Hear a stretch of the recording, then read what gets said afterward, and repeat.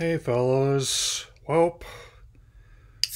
I'm slowly but surely getting back to swing of things from Thanksgiving so I can have things working through the pipe for Christmas.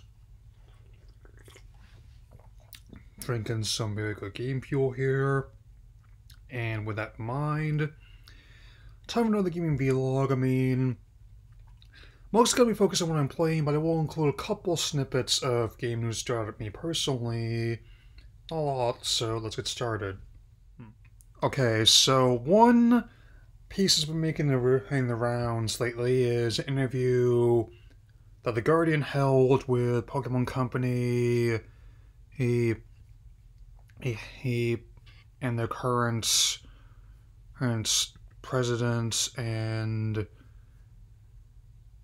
President Takato Utsunomiya, uh, best known for his his snappy fashion sense and no nonsense approach. I mean, oh, COO, my mistake. Yes, and he intends something that stood out like is the goal is to keep the franchise alive for hundreds of years. Again, his words, not mine. And I personally figure this stage, I mean, it did seem to be headed towards that direction. As something of old ages kind of brand, the same thing as like Dragon Ball or Mario or Star Wars, always among many others. And as for the snippet regarding the Generation 9 situation, it's. Even though not everyone might be satisfied with it, I think it's. The, I still believe it's the right way to go about it. I mean, to. Mean, to not openly address the more hostile sections of the, fan base, and even someone who likes it, I am willing to acknowledge that, as there are some who didn't, but I'm also acknowledging that it is possible to critique it without not being hostile about it and and that the line between in the two is just so thin these days you have to be very careful about it. Still, some food for thought uh, as we are now pondering potential Generation 10 and Remix Generation 5 as well as this proposed successor Switch, which I'm going to be starting with for the base console. Yeah, as previously stated, I have been very much enjoying the of Super Mario RPG, which also been I'm viewing and selling quite well. I mean, oh, I would say I'm also practicing for the next season's Splatoon 3 I mean, and a whole slew of new weapons and gear ahead. I'm especially looking forward to the returning stage from the first game, as well as the new stage, Age Robo Rom N, of course.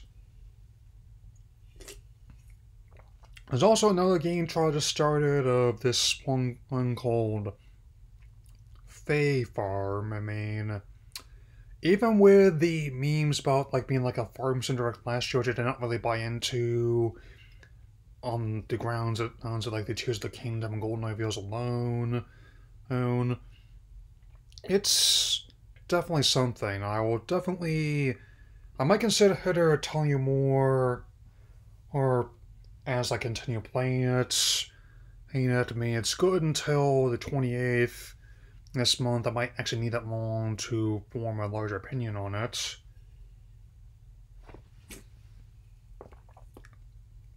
What I can form a larger opinion on is that, on in addition to 1080 coming to who the easy Nintendo 64 Online service, this the the another one that lead off the third wave of titles in December is going to be one I have a lot of appreciation for.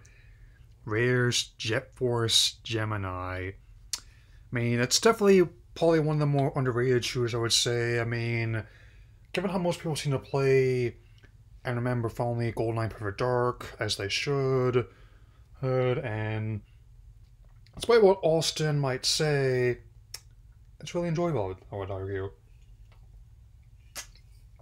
I don't have any formal opinion on the on that and GoldenEye being on the 18 and up Switch Online app in Japan, and on the grounds that one, both titles are 18 here, and two, that CERO, as has been noted and lampshaded by both Sakurai and Hideki Kamiya among many others, tends to be a bit tighter in its regulations than be is here. In another more juicy reveal, I mean, a former developer from Rockstar, or before or the publisher had, had taken down, revealed a few details about previous games, not just about how Grand Theft Auto Vice City was originally going to be an expansion for 3 before it was upgraded into a full-on game, but also for an intriguing game called Agents, which is going to be a PSV exclusive, have, have even integrating messaging technology before the game ultimately got cancelled. I mean, that someone who was reading coverage of it online and in print at the time, it always intrigued me, and even more so oh, since it disappeared. And even the developer himself pointed out that he thought time passed, but he was proven wrong. Um, he said he'd be winding down on the blog as a whole before he said maybe I'll try again in 10 years, which should make a decent enough transition to talking about what's I've been playing on the PlayStation front. Oh, that's good. On top of the legacy titles, those that have on PS Plus Premium, with particular emphasis on on Jet Moto. I mean, I did try a little bit of Grandia, but I wasn't really my cup of tea. One I have been particularly enjoying I mean, is Sifu, which I got a little version of as part of like a Black Friday deal, and also oh, how I had really enjoyed a trial version of it before. It's still a very unique take on a beat up action title where every time you respawn, you age at least one year here, and it's also not when you just mash buttons to get through either. You need to carefully consider how to wait, how to approach certain encounters. It even has some Souls-like elements to it, even, even where how you can actually upgrade your your stats through through concurrent encounters and even access to new areas as you couldn't on previous playthroughs either. There's also oh Roller Coaster Tycoon Adventures Deluxe, which I tried trial of. I mean, it's. I mean, some people like seem to like that one.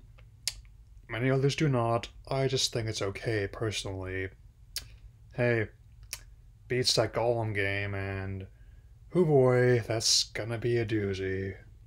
Yeah, I've also been getting into My Hero Ultra Rumble a little bit. I mean, especially since the new season just started and added, Endeavor to the list of local characters. And even with the monetization, and I have been offered. The game itself is actually pretty interesting, even as someone who's not really into battle royale titles. I mean, it's.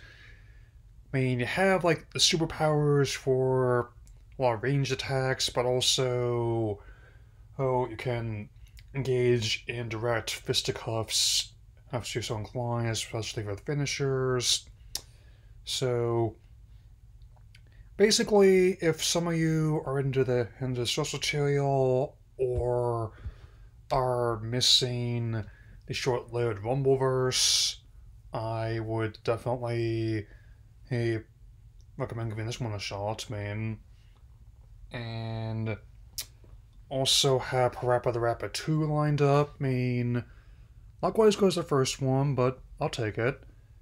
And one curious data mine has found not only the Thrillville titles, which are not quite as good as Roller Coaster Tycoon ones personally, but also full games to a couple of legacy titles, the tie-in to the show Buzz Lightyear Star Command, and where actually pretty entertaining show and decent game to go with it.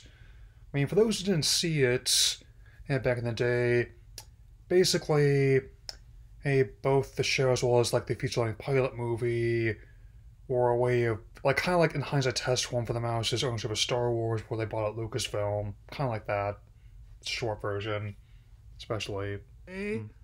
That'll be all for now, and I will see you all very soon. My look at the Hunger Games, Games Ballad of Songbirds and Snakes. That'll be all for now. Take care, everyone. Mm-hmm.